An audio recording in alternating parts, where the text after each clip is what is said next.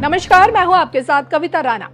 अगर आप ये कहेंगे कि प्रशांत किशोर तो देखिए, पेशे से कोई भविष्यवक्ता या फिर पंडित तो नहीं है। फिर भला, कौन उनकी भविष्यवाणी पर यकीन करेगा? आपकी जानकारी के लिए बता दूँ कि ये वही प्रशांत किशोर हैं जिनके बंगाल चुनाव को लेकर की गई भविष्यवाणी सटीक बैठी थी। बंगाल का चुनावी रण कम दिलचस्प नहीं था। दीदी के किले को ढाने के लिए बीजेपी ने एड़ी चोटी का ज़ोर लगा रखा था।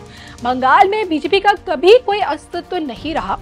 दशकों तक देखिए, तृणमूल की सरकार ने यहाँ राज किया और बंगाल की लड़ाई, ममता बनाम मोदी भी हो चुकी थी और अंत में बीजेपी टू डिजिट में सिमट गई।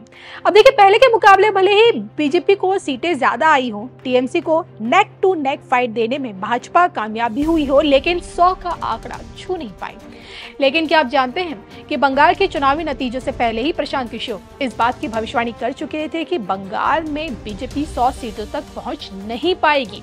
और बंगाल को लेकर जैसे प्रशांत किशोर ने ये कहा, ठीक वैसा ही हुआ। और अब एक बार फिर इस चुनावी मौसम में पीके ने बंगाल की सीटों को लेकर एक नई भविष्यवाणी कर दी है। दीदी के रहते क्या बंगाल में कमल खिलाने का सपना साकार हो पाएगा और क्या वो सपना मोदी जी पूरा कर पाएँगे? इसको लेकर इस बार पीके की ताज़ा भविष्यवाणी ने दीदी को टेंशन में ला दिया है। देखिए इस पर हमारी ये खास रिपोर्ट। चुनाव से ठीक पहले टेंशन में ममता दीदी। चुनाव से ठीक पहले पीके की विस्फोटक भविष्यवाणी। चुनाव से ठीक पहले पीएम मोदी का दिल हुआ बागबान। चुनाव से ठीक पहले बंगाल की 42 सीटों पर बड़ी भविष्यवाणी। देखे सिर्फ़ धर्म ज्ञान पर। होली से ठीक पहले चुनाव आयोग चुनावी तारीखों की घोषणा कर चुका है। अब की बार का देखिए चुनावी रण, सात चरणों में संपन्न होगा। देश भर की वोटिंग के बाद 4 जून के दिन तस्वीर बिल्कुल साफ़ हो जाएगी। देश को अपनी एक नई सरकार मिल जाएगी।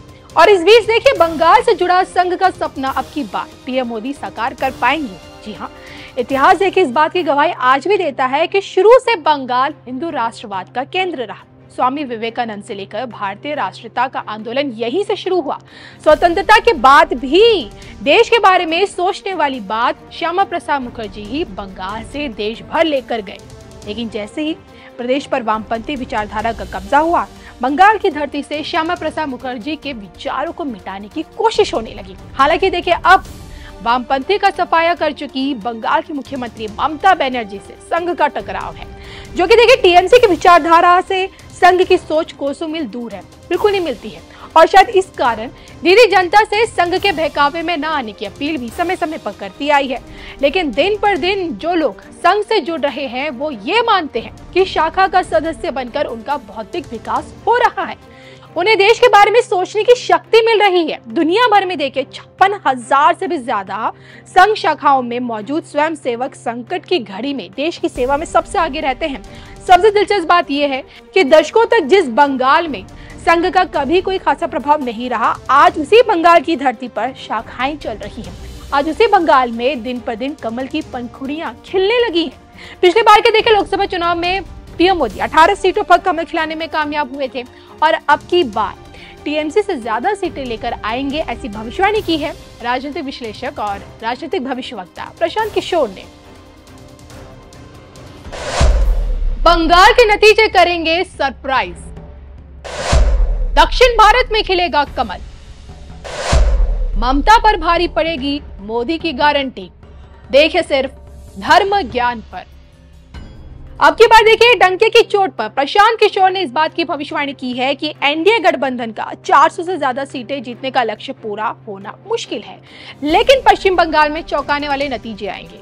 खुलकर ये कहा है मैं कोई भविष्यवाणी नहीं करना चाहता, लेकिन पश्चिम बंगाल में बीजेपी का प्रदर्शन टीएमसी से बेहतर होगा। यहाँ के चुनावी नतीजे हैरान करने वाले और बीजेपी के पक्ष में होंगे। पीएम मोदी का दक्षिणी राज्यों का दौरा बीजेपी के लिए अच्छा संकेत है। अब जो कि देखिए 400 पार की राह भाजपा दक्षिण पर फतेह करके पाना चाहती है और जिसे देखते हुए पीके इस बात की भविष्यवाणी कर चुके हैं कि बंगाल के अलावा बिहार, ओडिशा, आंध्र प्रदेश, तेलंगाना, तमिलनाडु और केरल में भी बीजेपी की सीटें बढ़ेंगी। अब पीएम मोदी की लोकप्रियता का फ़ायदा भाजपा को मिलेगा और पहले भी एनडीए गठबंधन को इसका फ़ायदा मिला है। विपक्ष ने भी अपनी गलतियों के ज़रिए पीएम मोदी का खूब प्रचार किया है। अब देखिए देश के सियासी माहौल को भापते हुए पीके। इस बात का संदेश दे चुके हैं कि पहले की तुलना में भाजपा ज़्यादा सीटों पर कमल खिलाएगी, यानी कि बयालीस सीटों पर टीएमसी को मात दे सकती है। यानी कि 24 की पिच पर। पीएम मोदी बंगाल जीतने की तैयारी में है। लेकिन क्या दीदी के रहते ऐसा मुमकिन है? वैसे तो हर नामुमकिन को मुमकिन करके पीएम मोदी ने दिखाया, लेकिन इस बार क्या बंगाल में वो अपना ये करिश्मा कर पाएँगे? कमेंट करके बताइएगा ज़रूर आप लोग।